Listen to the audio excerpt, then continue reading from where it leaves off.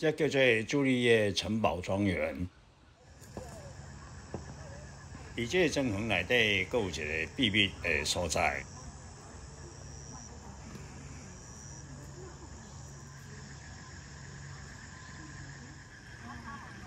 咱今晚要来看一种诶发光的鱼啊。赚外汇呢？这种鱼哈，它叫做神仙鱼啊哈。嗯。哎，因为我们最主要是是从事观赏鱼的繁繁殖跟贸易外销啊哈。嗯嗯。啊啊，这这个是观赏鱼的一种。嗯嗯嗯。但是这这两缸两个水族箱里面的观赏鱼哈，有一些特别的哈。嗯。它它第一项特比较特别的地方就是观赏鱼一共有一万多种嘛哈。嗯。啊，这个是全世界第一只粉红色，也是唯一一只全身粉红色的观赏鱼。嗯。这个是它第一项特别的地方。嗯。那它第二项特别的地方哈，就是。它原本哈神仙女是长，嗯，里面有灰色的嘛哈，有一只灰色，哎对对，就是原本神仙女是是长这个样子啊，嗯嗯嗯，好，它是原产亚马逊河，嗯嗯那全世界会这种技术把它从这个，好这种叫做 Y type 哈，把它用现在的生物科技让它变成。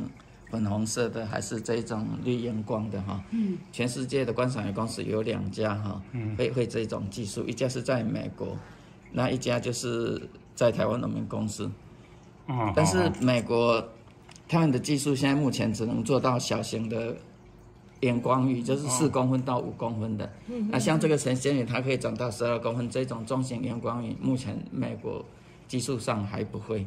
哦，所以说在这一方面，美国大概慢了台湾五年到七年左右。嗯嗯嗯。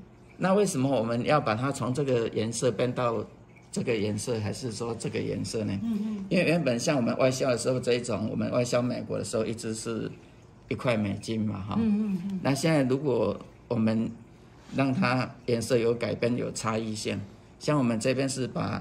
肯定的珊瑚的基因转植进去嘛，它就变成跟珊瑚一样的颜色，这样一只就可以卖到大概三千块美金，然后这个是它特别的地方。那这个这个是怎么怎么来做的呢？我在这边哈有像这个是黄黄色的珊瑚嘛哈，这个是我们在垦丁用的时候海里面的水母它会发光，那这些特性像这个黄色的还是说这个粉红色的，都是有它。负责的基因，嗯，然后我们我们的所有的特质都是上一代我们爸爸妈妈给我们的遗传给我们的基因嘛。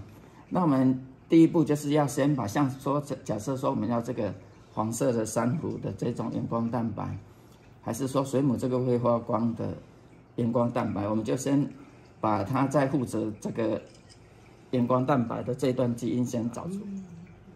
那先找出来定序之后。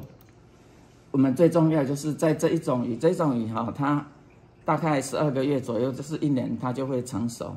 啊，它成熟的时候跟我们人一样，就是也会去交男女朋友啊，谈恋爱啊。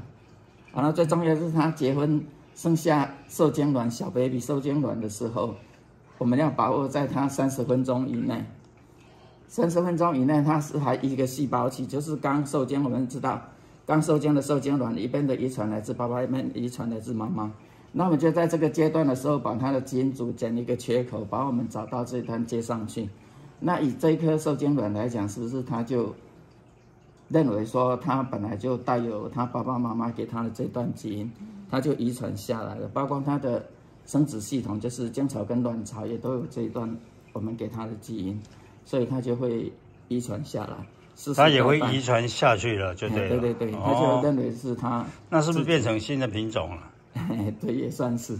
啊，所以说我们现在看到里面比较大的哈，它是已经这是第七代了，然后比较小的是已经第八代了。哦，是哦。哎，所以他们生下来每一只小 baby 哈都是粉红色的，像那边每一只生下来，哎都是这种绿荧光的颜色。诶，跟人哈大概有百分之八十是一样的。所以说，人的研究可以运用在鱼身上，然后鱼的研究可以运用在人的身上。那请教一下，为什么一定是红的跟这个绿的这可以很多种颜色啊！我们在垦丁一共有找到十几种不同的荧光蛋白。哦，是啊，哦哦。绿的、大型荧光，它可以长到三十公分，它寿命长达二十年。嗯嗯嗯，对的。而且是我们现在地球上最大的荧光鱼。它这个有没有什么特别的饲料啊什么的？啊，这个随便什么饲料它都可以吃，都可以，跟原来的特性都一样。像像这种小时候看的那个什么什么彩虹鱼，啊，其实一共是有好几种颜色。后面现在在这边这这个水箱，我们这边看到现在的那个科技哈，嗯可以把所有的物种哈都运用现在的生物科技，让它可以表现出我们希望它表现的各种颜色。像像这个里面，就是我们在垦丁一共找到各种不同颜色的十几种不同颜色的。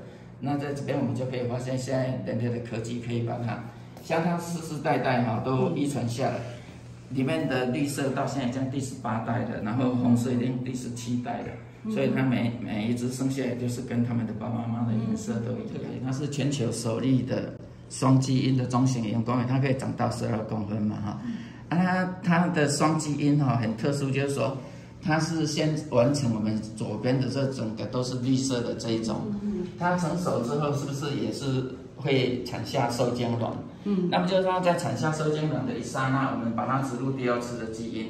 那第二次的基因，我们在它第二次的基因，我们是植入红色的，但是在这个红色基因前面有一个调控它可以表现它部位的一个基因，所以。